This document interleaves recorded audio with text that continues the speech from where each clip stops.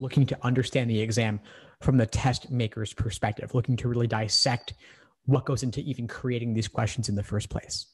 And that's where the Socratic review method comes in, because that's where you're looking to deconstruct exactly what makes problems difficult. You're looking to see how they design the exam questions to trip students up in various ways.